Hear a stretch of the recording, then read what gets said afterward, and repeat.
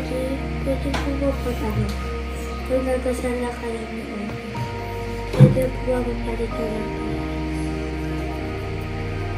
Masinsinan ang naging pag-uusap ni na at Tito Vince sa bagong episode na ipinalabas sa reality show ng Toro Family. Hindi nalingid sa kaalaman ng nakararami na nagdadalang tao ngayon si Tony Fowler sa anak nila ng kanyang partner na si Vince Flores.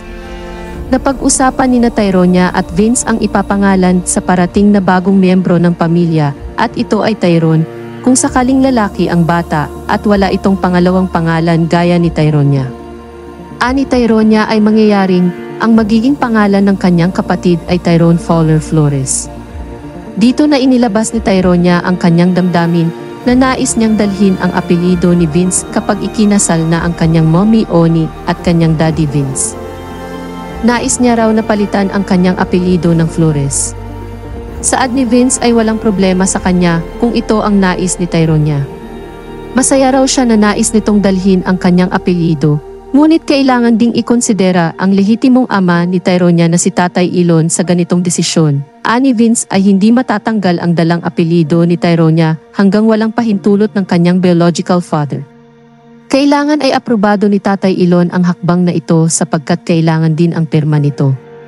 Kapag tumuntong raw si Tyronia sa legal na edad ay mayroon na siyang karapatan na papalitan ang kanyang apelido. Ngunit binawi rin ito ni Vince na kahit na labing walong taon na si Tyronia ay may karapatan pa rin ang kanyang ama kung papayag o hindi napapalitan ang apelido ng kanyang ama.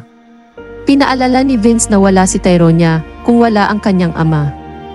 Dagdag pa ni Vince ay kailangan pag-usapan ng mga matatanda ang ganitong usapin lalo na at labing isang taong gulang pa lamang si Tyronia Saad ni Tyronia ay matagal na niyang tinanong kay Vince na nais niyang maging Flores dahil si Vince naman raw ang totoong nagmamahal sa kanya.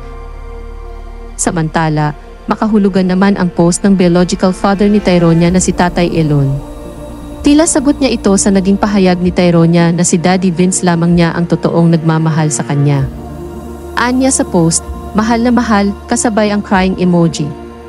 Mababasa rin sa post na ito ang komento ng ilang netizens para kay Tatay Elon. Anila, dasal lang tay Tatay Elon kahit naman gustuhin niya maging Flores. Kahit pagbaliktarin ang mundo, ikaw at ikaw pa rin ang tatay niya, walang katumbas na pera or kung anuman ang isang pagiging ama. Bilang ama nung isa, sana iparamdam mo sa kanya yung pagmamahal na ibinibigay mo sa dalawa mong anak. Oo, galit siya sa'yo, mas lalo siyang nagagalit kapag pinagbibigyan ka na niya pero di mo pa rin pinag-effortan yung chance na binibigay niya sa'yo. Isipin mo, mula bata siya, di ka niya nakakasama at ngayon na binigyan ka ng pagkakataon na makasama siya at makabawi sa kanya, eh di mo pinag-effortan. Kaya di natin masisisi yung bata kung magkakaroon siya ng desisyon na ganyan,